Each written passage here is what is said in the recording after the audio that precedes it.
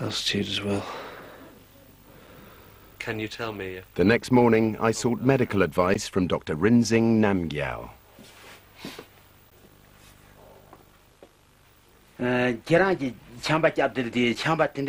Far from the advanced and certainly fatal altitude sickness I'd imagined, Rinzing diagnosed a minor cold.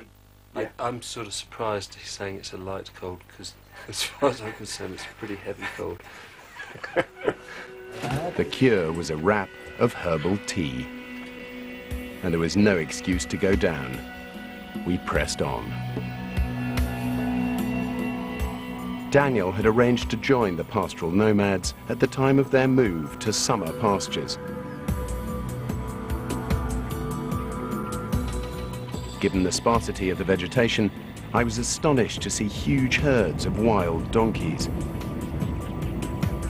smaller bands of antelopes. It's very barren. It's not desert yet, alpine steppe.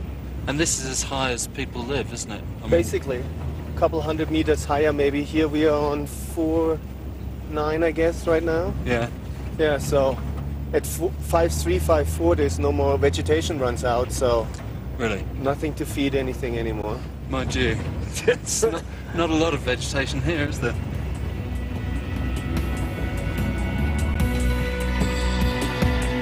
I simply couldn't understand how these people survived in this vast brown wilderness. So when Nudrup invited me to stay for a day or two, I quickly accepted. Nick Sekiore. Nick, how do you do? Pleasantries over with, we wasted no time in getting on the move. Tent, is it? It's heavy. Very heavy.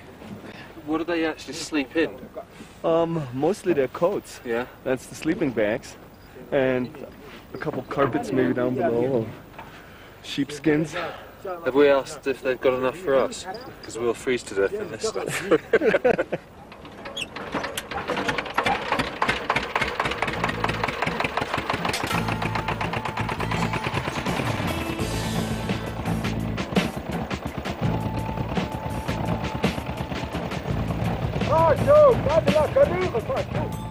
The agenda was to unite Nudrup's sheep with his yak herd. They had moved to the summer pastures a week before and were being tended by Lamo, his neighbor.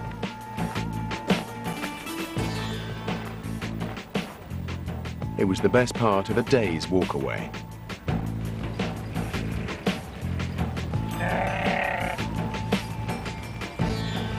After eight kilometers, I could discern little change in the vegetation.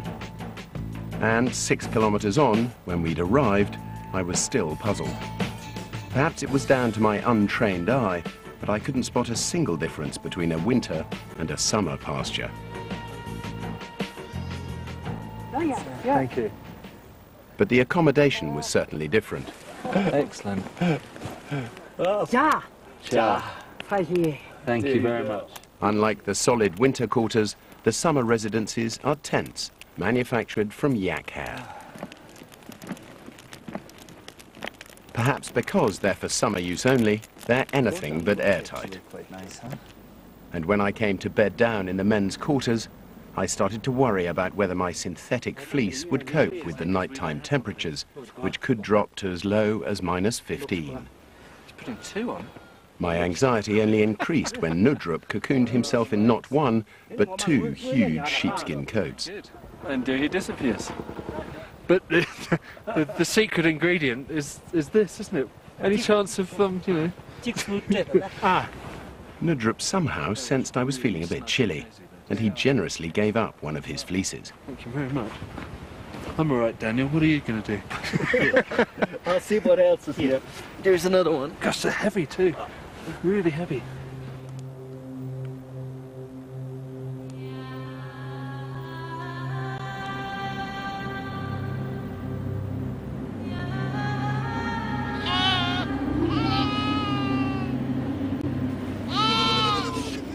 The next day, I set about trying to work out how it is that these people managed to scrape an existence from this remorseless, barren plain. From the moment the animals were released from the pens to graze on the surrounding hills, it became clear that nothing is left to waste. This one? Ah, No. Too wet. The first chore of the day was to bag up the overnight dung. It's quite a tricky business, actually. There are no trees at this altitude, as there is neither sufficient oxygen in the air nor moisture in the ground to support anything more than the thin and sparse carpet of grass. You've got to get your eye in. Dung is the only combustible fuel on the plateau.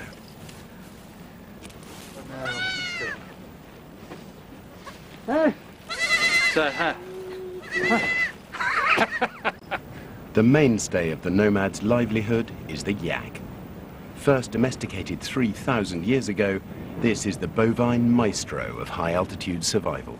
Actually, I tell you what, just going up that gentle slope was exhausting. I wish we had yak blood. They have three times the amount of blood cells than Yeah. ordinary cows. That would be nicer too, yeah. Not only does the yak have supercharged hemoglobin, it has also evolved a huge windpipe, lungs, and heart to further maximize the take up and distribution of oxygen.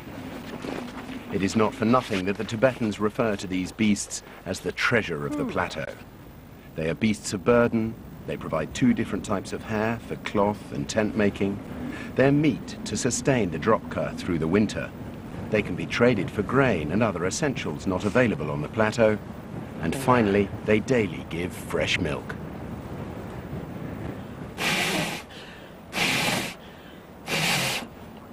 But it's not just yaks. Even she gets out of breath. Yeah. Lamo needed a seasoned sheep's stomach to process the yak milk into the ubiquitous yak butter. They were utterly dependent on their animals. So each night, the small and the vulnerable were sorted into strange mud ovens to keep them warm and safe from predators. Though the principles which determined who went where somewhat eluded me. Okay. In you go. I don't understand this. There you go. That one there, and that one in, in there. In that one, okay. Whites, blacks. Can't be boys, girls, because there's three of them. Sleep tight. It's good to be out of the wind. As I sat down for my final meal with Nudrup and his men, I realized that life here is a stark equation. No animals equals no people. This has got to be the very edge of altitudinal existence. looks like an old sheep to me, is it? It was. Yeah. Everything's so finely tuned, every aspect of their animals is used.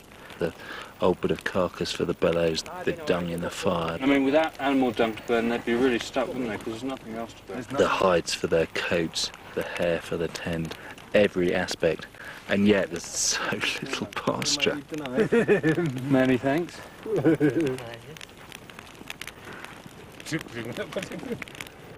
Totally well, not even dried. actually.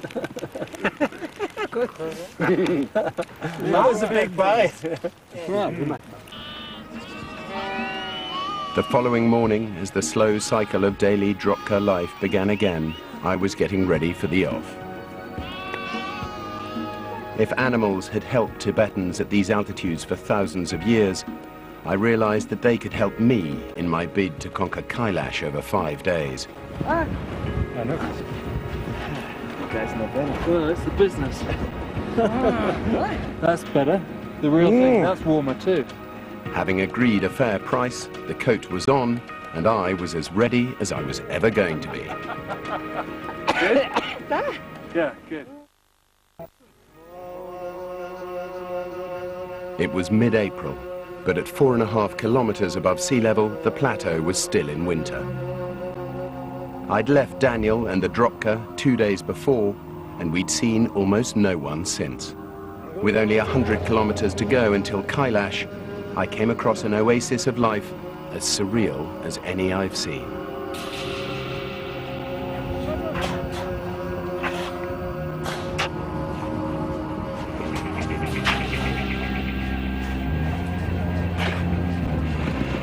What I first thought was ice turned out not to be. This was more evidence of just how violent the tectonic upheaval was and is. This crust on top of the world was sea salt. This used to be the seabed. I mean, we're now 4,445 metres, four and a half kilometres above sea level. And uh, the sea's come up to meet me, as it were, over a few million years, of course. And intense solar radiation uh, evaporating off all the water, leaving you with this superb white salty surface. How much does a guy like this get paid each day, do you know? 그럼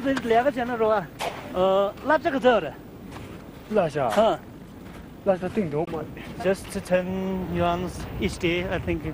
10 yuan a day? yeah. Gosh, that's not much, is it? Blimey. I've rarely encountered a harsher, more medieval scene.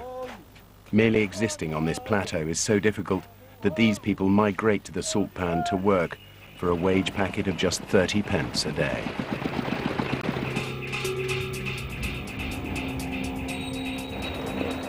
We crossed the Mayom La Pass and headed on up towards Mount Kailash. Regarded as the axis mundi, or heart of the world, by Buddhists, Hindus, and Jains, pilgrims walk around this sacred peak in the hope of expiating the sins of this life, gaining religious merit, and earning reincarnation as a human being. Each year, Mount Kailash lures thousands of pilgrims to its slopes. But when I reached Darchen, the pilgrimage base camp, I very much got the impression that I was ahead of the crowd. It's all very quiet, isn't it? Yes, the season is in very early now. Early in the season, huh? Yeah. It was here that I'd arranged to meet my companion for the pilgrimage, Norbu Wangtang. The first of the se- season. The good season is about one month away. Is it? Yeah. So you reckon we're the first of the year? Sure. I think it's 三八月呗。 It was a bit of a ghost town, Where is it? but they were obviously gearing up for the pilgrimage season because we managed to find all we needed for our three-day trek. Two two kilograms. Two The staple in the form of tsampa, or ground barley, protein in the form of dried yak, How much dung do you think we'll need, Nobby? and fuel in the familiar form of yak dung. Well, we're more or less ready now.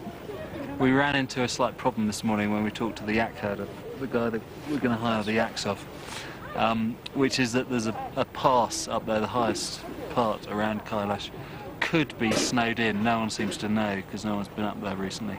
I mean, we are the first pilgrims here. But if this pass is snowed in, then the yaks won't be able to get past, which means either we come back or carry on on foot, I suppose. Yes. Yeah. Uh, they carry. We could carry what we can we can carry.